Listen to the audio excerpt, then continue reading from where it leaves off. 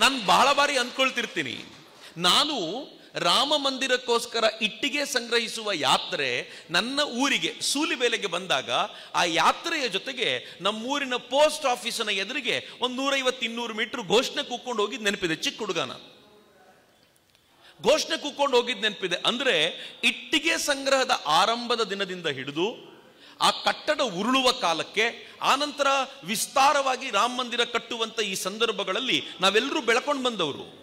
ಮಂದಿರ್ ವಹಿ ಬನಾಯಂಗೆ ಅಂತ ಆನಂತರದ ದಿನ ಜೋರಾಗಿ ಘೋಷಣೆ ಕೂಗ್ತಾ ನಿಂತಂತವ್ರು. ಹಂಗ್ ಮಾಡುವಾಗ್ಲೂ ಕೂಡ ಮಂದಿರ ಆಗುತ್ತಾ ಅಂತ ಯಾರಾದರೂ ಪ್ರಾಮಾಣಿಕವಾಗಿ ಕೇಳಿದ್ರೆ, ಡೌಟಪ್ಪ ಇವತ್ತಿನ ಲೀಡರ್ಗಳ ಮಧ್ಯೆ ಮಂದಿರ ಆಗೋ ಸಾಧ್ಯತೆ ಉಂಟಾ ಅಂತ ಅನ್ಕೊಳ್ತಿದ್ವಿ. ಆದರೆ ಎಂಥ ಕಾಲ ಬಂದ್ಬಿಡ್ತು ಅಂತಂದರೆ ನಮ್ಮ ಕಣ್ಣೆದುರಿಗೆ ಆ ಭವ್ಯವಾಗಿರುವಂಥ ಮಂದಿರವನ್ನು ಮಂದಿರ ವಹಿ ಬನಾಯಂಗೆ ತಾರೀಖ್ ನಹಿ ಬತಾಯಂಗೆ ಅಂತ ಆಡ್ಕೊಳ್ತಿದ್ರು ನಮಗೆ.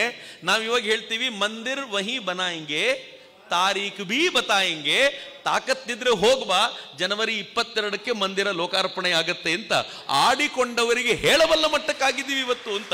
ಇದು ಬಹಳ ಹೆಮ್ಮೆಯ ಸಂಗತಿ. ನನಗಂತೂ ಈ ವಿಚಾರಕ್ಕೆ ಹೆಮ್ಮೆ ಇದೆ. ಆದರೆ ಈ ಹೋರಾಟದ ಪರಿ ಇದೆಯಲ್ಲ? ಸಾಧಾರಣವಾದ ಹೋರಾಟ ಅಲ್ಲ.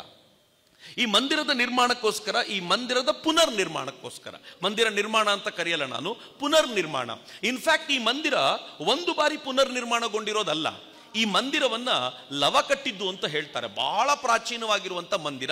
ಕಾಲಕ್ರಮದಲ್ಲಿ ಅನೇಕ ರಾಜರುಗಳು ಇದನ್ನ ಪುನರ್ ನಿರ್ಮಾಣ ಮಾಡ್ತಾ ಬಂದ್ರು, ಇದಕ್ಕೆ ಬೇರೆ ಬೇರೆ ಸ್ವರೂಪವನ್ನ ಕೊಡ್ತಾ ಬಂದರು. ಬಾಬರ್ನ ಆಕ್ರಮಣದ ಕಾಲಕ್ಕೆ ಬಾಬರ್ ತುಂಬಾ ಸ್ಪಷ್ಟವಾಗಿ ಒಂದು ಒಂದು ಆಜ್ಞೆಯನ್ನ ಕೊಟ್ಟು ಈ ಮಂದಿರವನ್ನ ಕೆಡವಿಲಿಕ್ಕೆ ಹೇಳಿದ್ದ. ಅದರ ಆಧಾರದ ಮೇಲೆ ಮಂದಿರವನ್ನ ಕೆಡವಲಾಗಿತ್ತು.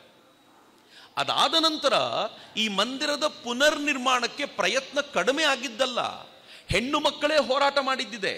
ನಾನು ಸಾವಿರದ ಒಂಬೈನೂರ ಮೂವತ್ತರ ದಶಕದ ದಾಖಲೆಗಳನ್ನು ನೋಡ್ತಾ ಇದ್ದೆ.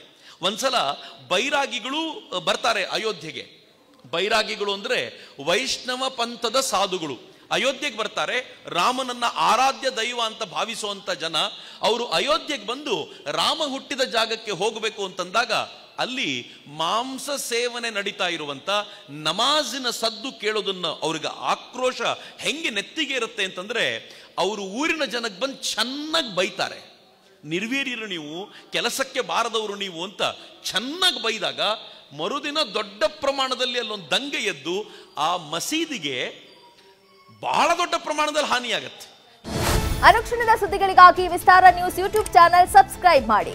ಹೊಸ ಸುದ್ದಿಗಳ ನೋಟಿಫಿಕೇಶನ್ಗಾಗಿ ಬೆಲ್ ಐಕಾನ್ ಕ್ಲಿಕ್ ಮಾಡಿ.